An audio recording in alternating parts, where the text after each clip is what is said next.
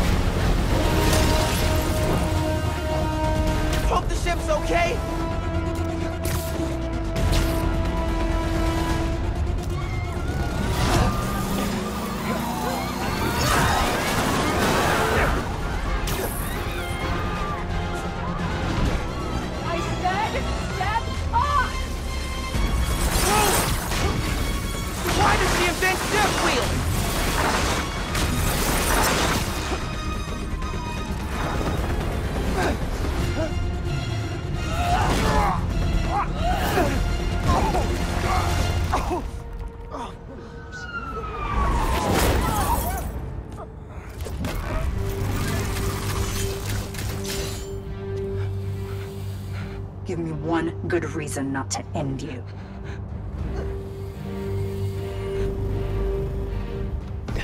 My mom would be very upset. Miles?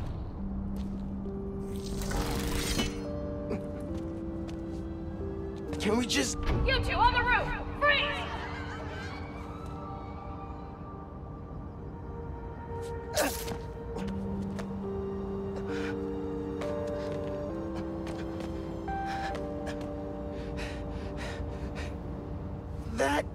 Could have gone better.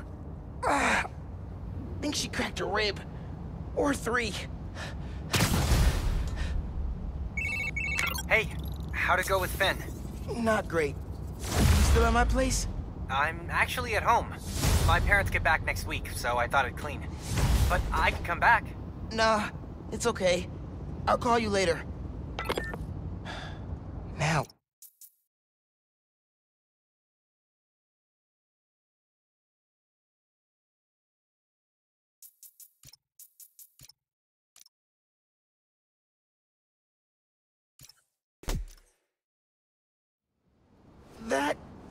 Could have gone better.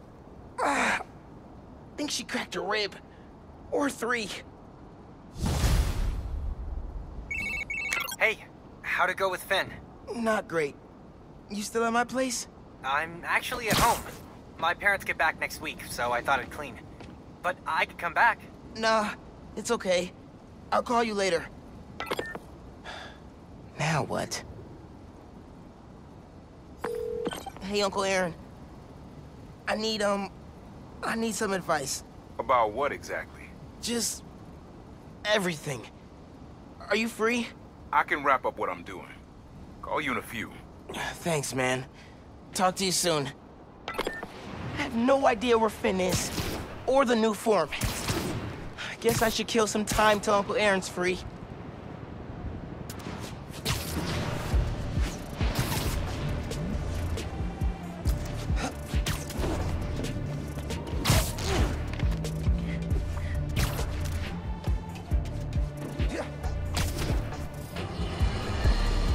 You all remember Wilson Fisk, don't you?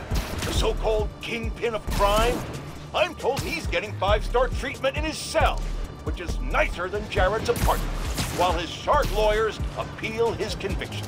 But it seems there may be some justice in the world after all, because a new Daily Bugle expose reveals that his now dilapidated Fisk Tower, which is scheduled for demolition in the new year, has been taken over by squatters.